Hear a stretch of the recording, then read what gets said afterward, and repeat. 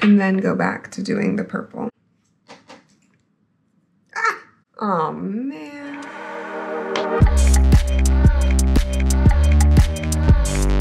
Hey guys, it's Brooke, and for my video today, I'm to be showing you guys this rainbow makeup tutorial.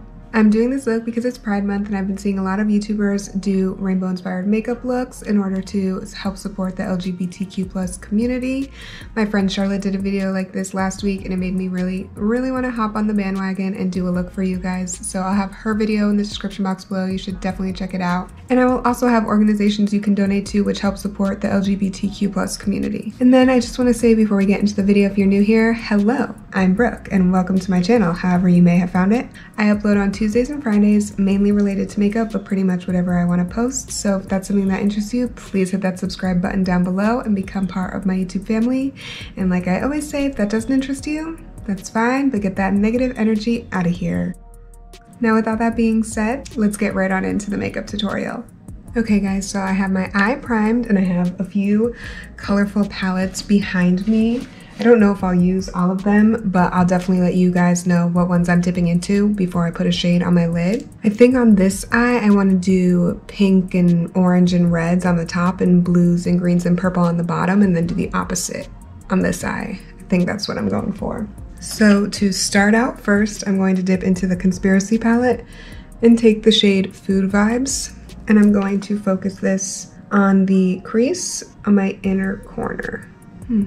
I've never dipped into this color before, and I have to say I'm a little disappointed. It does, it's nowhere near as neon as it looks in the palette, but it still works for what I'm trying to do. Okay, so for the orange, I'm going to dip into My Man from the Jaclyn Hill Volume 2 palette, and I'm going to put that right next to the yellow shade in the same area on my crease. And then I'm gonna dip back into Food Vibes to keep brightening it up so that we don't lose that pigmentation. Next, I'm going to dip into this hot pink from the Saweetie Morphe collab on the same brush and just keep building up the rainbow colors of the crease. I'm just dipping back into that orange shade to make sure I don't lose any of that pigmentation. And then the last shade I'm going to go for is Flamin' Hot from the Conspiracy palette and put this on my outer corner. I pretty much immediately lost that pink, so I'm just going back over it again before I even continue with the red. And same with the orange. And for the red, I'm actually gonna pick up a fluffy crease brush instead of the small one so I can wing it out easier. So I've lost that pink color a lot, so I'm gonna dip into it again but I don't know if I'm gonna be able to save the pink. There's just not enough different tone in that red. So instead of using Flaming Hot, I'm going to pick up Living My Best from the Jaclyn Hill palette and put that one on top to see if I can help differentiate between the pink and the red. Okay, I think that that helped, so I'm gonna pick up the pink shade again. Pink and red do look very similar, but I still am liking how it's coming out. Pick up the orange shade again, and then pick up the yellow shade again. Now I'm just gonna take a big fluffy brush to blend the top of these all together. I'm just gonna go ahead and cut my crease off camera, and I'll be right back to show you what I keep on doing. Okay, so I actually decided what I was gonna do with the look. So I didn't want any colors on my lid to distract away from the gorgeous cut crease I was able to create. So I just took Ranch from the Conspiracy palette, which is this shade right here, put it all over my lid and did my winged eyeliner off camera to save a little bit of time. And now we're gonna go ahead and do the green and blue purple look on the other eye. I did just prime this eye off camera as well. So I'm not gonna be using as many palettes for this side. I think I'm just only gonna be dipping into this one since it has the green, blue, and purple right here. But I might also dip into the purple of the Jaclyn Hill palette because I really like that deep purple. But we're gonna start with the green from the Sweetie X Morphe palette called Green Room and we're gonna put this in the same spot that the yellow is on this eye, so our inner corner. And then from there, we're gonna dip into the blue in the palette on the same brush and put it right next to it. I never do this eye on camera, so hopefully you guys can see me well. And then I just cleaned my brush and dipped back into the green so we don't lose any pigmentation. Pop on some more blue. And now we're ready for the purple. I am switching brushes for the purple to a more pointed brush. Uh, so that way I can wing it out easier. And I'm still using the Morphe Sweetie palette, or Saweetie, but I'll see if I need to dip into a different one.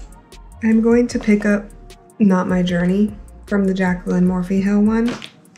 Jaclyn Morphe Hill? No.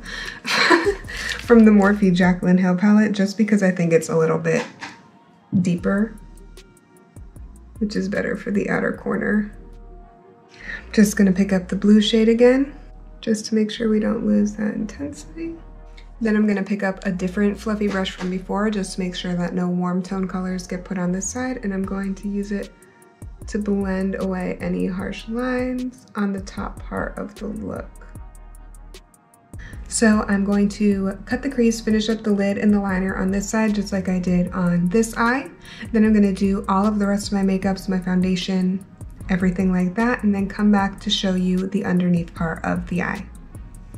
Okay, so this is what I'm working with so far. I kind of honestly messed up the cut crease on both sides. They're not super sharp, but as long as I'm not looking down, you guys can't see them. So let's just pretend they're not there, okay? Help each other, pretend it looks good. It'll photograph well. That's all that matters. So for this eye, like I said, I wanna do the warm tones underneath and for this eye I want to do the cool tones underneath. So to start I'm going to take the red shade that I was using before, the one from the Jaclyn Hill palette, and a flat brush and I'm going to put this on my waterline. And then I'm going to pick up the same orange shade that I was using. It's also the one from the Jaclyn Hill palette right here. And I'm going to use that to buff out the red shade. And then before I move on, I just honestly want to fix what I've got going on there. I couldn't decide on whether or not I wanted to connect the red up to the purple, but I decided that I didn't. So I just need to go in and fix that really quickly. To finish off this bottom look, I'm going to take the same brush that I did the orange and dip into the yellow and just use that to even more thoroughly buff out the other two colors. Okay, I got this eye all fixed up. And now I'm just gonna go ahead pretty much do the same thing with the other eye by taking the dark purple first and putting it on my waterline and then using the other two shades to buff it out. Just to remind you, the blue and the green were both from the Sweetie palette. Okay, now this look definitely needs a dramatic lash, so I'm going to add that and pop on my lip gloss and some highlighter. I'll be back to show you guys the finished look. Okay guys, so here is the totally completed look. I absolutely love how it came out. Though the cut crease isn't perfect, I'm still really proud of the look. I think it's super cute and it's definitely rainbow, which is exactly what I was going for. If you guys enjoyed this video, please make sure to give it a thumbs up and subscribe if you like and want to see more of this type of content. That's all that I have for you guys this time, and I'll see you in the next one. Bye!